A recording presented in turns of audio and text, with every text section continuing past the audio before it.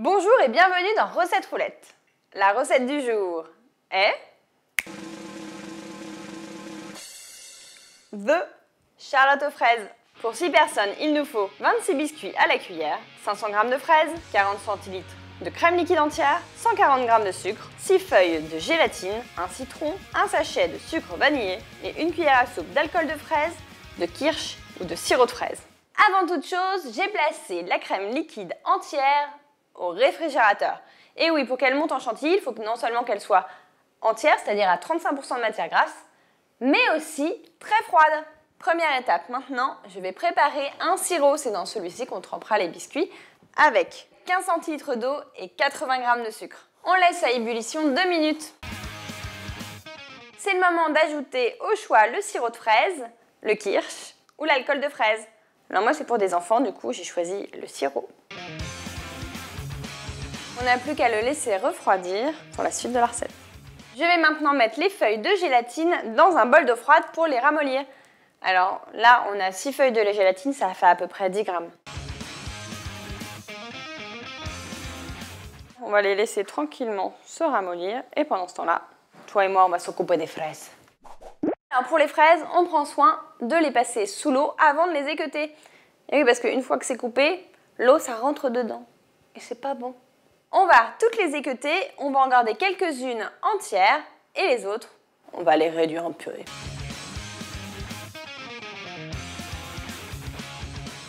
Il est temps de réduire ces demoiselles en purée.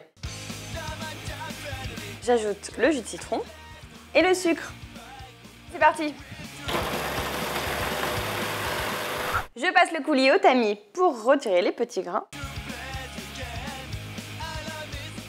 Je vais faire chauffer une petite partie du coulis. Si je fais tiédir un peu de coulis, c'est pour y faire fondre la gélatine. Alors regarde la gélatine, elle est bien ramollie. Je vais l'essorer dans mes mains. Le coulis doit être tiède et non chaud car la gélatine perd ses pouvoirs gélifiants lorsqu'elle est soumise à une température trop importante. La gélatine est totalement fondue. Je vais maintenant remettre le coulis dans le coulis froid et bien mélanger pour que la gélatine bah, soit partout dans le coulis. Maintenant que le coulis est prêt, on va passer à la dernière étape, la préparation de la chantilly. J'ai mis toutes les chances de mon côté pour réussir ma chantilly. J'ai mis ma crème très froide dans un bol que j'ai mis par-dessus un autre bol rempli d'eau très froide avec des glaçons. La crème est montée en chantilly, on va maintenant lui ajouter le sucre vanillé. En refroidissant, le coulis s'est un peu épaissi, on va pouvoir lui ajouter la chantilly. J'ajoute d'abord une partie de la chantilly et ensuite je vais l'incorporer très délicatement.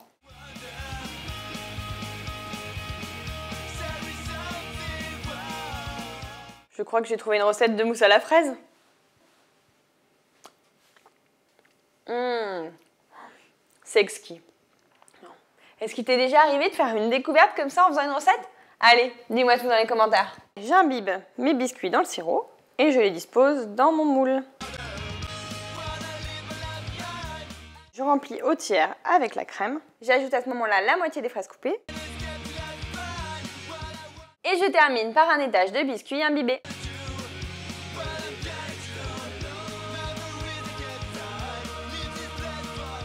Je recouvre la charlotte de film plastique Je place par-dessus une assiette, je vais mettre un poids par-dessus et c'est parti pour 6 heures au réfrigérateur. L'idéal, c'est même toute une nuit. Si cette charlotte n'est pas une bonne raison de ramener sa fraise, moi, euh, je m'y connais plus. Bon, et si tu veux vraiment te la péter, la charlotte royale est faite pour toi. Non seulement elle est délicieuse, mais en plus, elle en jette.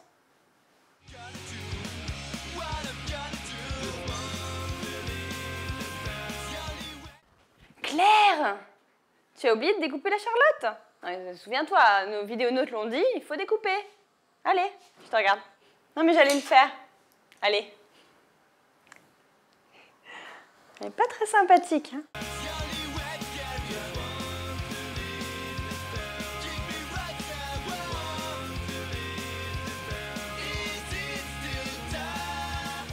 Tiens, c'est pour toi. Rendez-vous demain à 11h pour une nouvelle recette. Et si tu ne veux pas en rater une miette, un conseil, abonne-toi à la chaîne Marmiton. C'est pour toi. Je suis mal aux abdos, faut pas me faire rire.